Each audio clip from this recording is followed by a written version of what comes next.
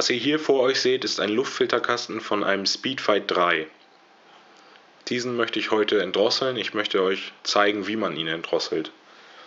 Dazu baut ihr den Luftfilterkasten erstmal vom Roller ab, löst dann die vier Schrauben an der Front und dann zieht ihr die vordere Kappe ab. So, dann seht ihr die Luftfiltereinlage. Die kommt erstmal, oh, die sitzt hier gar nicht richtig. Die kommt erstmal raus. Natürlich beim äh, Zurückbauen darauf achten, dass die richtig sitzt.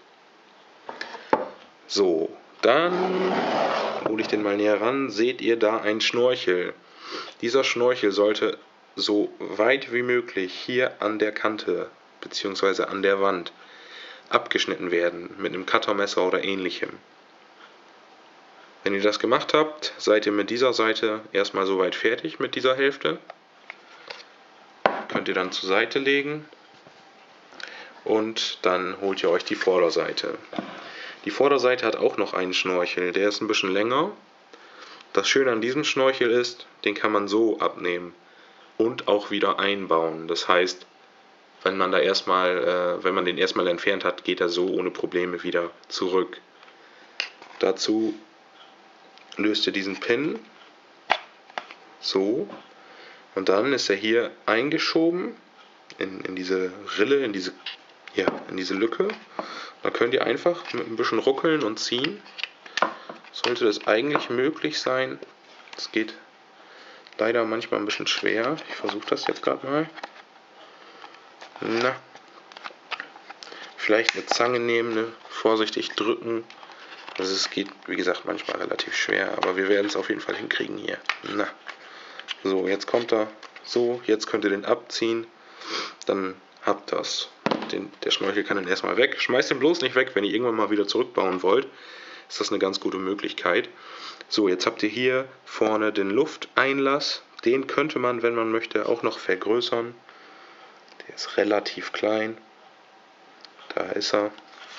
Ja, wenn ihr das auf jeden Fall gemacht habt, säubert den Luftfilterkasten von innen. Eventuell säubert ihr auch die äh, Luftfiltereinlage oder holt euch eine neue, je nachdem wie ihr das möchtet. Ich glaube, von Peugeot wird nicht empfohlen, die zu reinigen, sondern eine neue zu kaufen, aber die wollen natürlich auch nur Geld verdienen. Äh, ja, baut alles zurück wieder an den Roller und dann sollte der Spaß eigentlich beginnen können. Wichtig ist nur, wenn ihr diesen Umbau macht, solltet ihr auf jeden Fall dafür sorgen, dass der Vergaser ordentlich abgestimmt ist auf diesen modifizierten Luftfilter, denn äh, es wäre echt schade, wenn ihr ein zu mageres gemischt habt und der Roller dann erstmal gar nicht mehr richtig läuft oder ihr nicht merkt, dass der Roller ein zu mageres Gemisch hat und ihr einen Kolbenfresser oder ähnliches bekommt. Dieses Prinzip sollte eigentlich auch an anderen Luftfilterkästen anwendbar sein. Ich weiß jetzt nicht, in welchen Luftfilterkästen noch solche Schnorchel drin sitzen. Ich glaube, in diesen China-Rollern, äh, Rex, Bautian und Co., die haben auch manchmal Luftfilter, wo solche Schnorchel drin sind. Da könnte man dieses Prinzip halt auch anwenden. Also ich würde dieses Tuning bzw. diese Optimierung nicht für Leute empfehlen, die irgendwie nur 45 fahren oder sowas. Dadurch wird der Roller wahrscheinlich nicht schneller. Eventuell, aber wirklich nur eventuell kriegt er einen besseren Anzug. Also für Mofa und legale Rollerfahrer sollte das nicht sein. Das ist dann mehr für die Leute, die vielleicht schon ein bisschen was gemacht haben am Roller, ein größerer Vergaser, ein größerer Auspuff, beziehungsweise ein anderer, ein Sportzylinder. So in diese Richtung. Oder einfach, wenn man nur komplett entdrosseln möchte, dann ist das Pflicht. Weil man ja wirklich alles raushaben will. Also ich denke, das ist gerade eine gute Alternative zu einem Sportluftfilter, weil dieser Luftfilter ist halt der originale und doch recht unauffällig. Und ein Sportluftfilter ist ja schon auffällig, würde ich behaupten, sowohl im Aussehen als auch in der Lautstärke. Jetzt möchte ich euch natürlich auch noch eben erklären, äh, wie das Ganze überhaupt funktioniert. Also wieso der Roller besser läuft, wenn die Schnorchel entfernt worden sind. Ein Luftfilter sollte normalerweise so aufgebaut werden, dass die Luft einen so gering wie möglichen Widerstand hat. Und das ist durch diese Schnorchel in diesem Luftfilter nicht gegeben.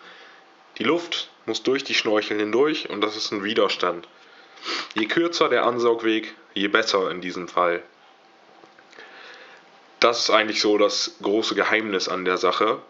Man sollte immer versuchen, den Luftfilter so strömungsoptimiert bzw.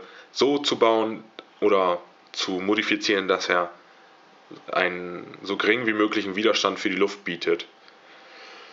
Ja, das ist eigentlich alles. Kein Hexenwerk. Ciao.